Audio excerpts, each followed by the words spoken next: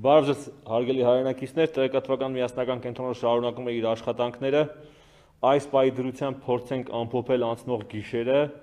եւ երեկոն, ինչպես արդեն հաղորդեց Պաշտպանության բանակը, ընդհանուր առմամբ գիշերը թեժ մարտեր չեն եղել, եղել են որոշակի փոքր մարտական գործողություններ նույն հատվածներում, հակառակորդը կատարել է որոշակի վերախմբավորման գործընթաց, սակայն առավոտ լուսաբացից հետո որոշակիորեն թեժացել են մարտերը,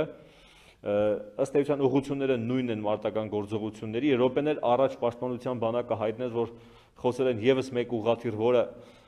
ընկել է Պարսկաստանի տարածք, ընդհանուր առմամբ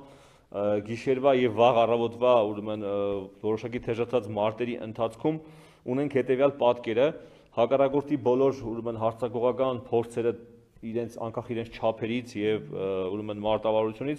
կրել են անհաջողություն հայկական զինվորությունները հետ են շփրտել հակառակորդին պատճառելով որոշակի վնաս մասնավորապես գնահատվում են զոհերը հակառակորդի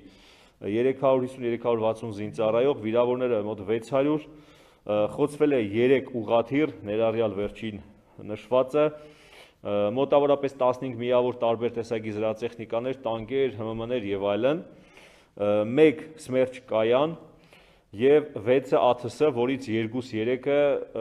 մոտավորապես կեսգիշերի սահմաններում։ Ընդհանուր առմամբ իրավիճակը այս է, շարունակվում են մարտական գործողությունները, կա կիրառվում են նաև հրետանի, հատկապես ավելի շատ հրետանի հենց րոպեներ առաջ ստացա տեղեկություններ, որ մարտական գործողությունները կարծես սկսել են թեժանալ։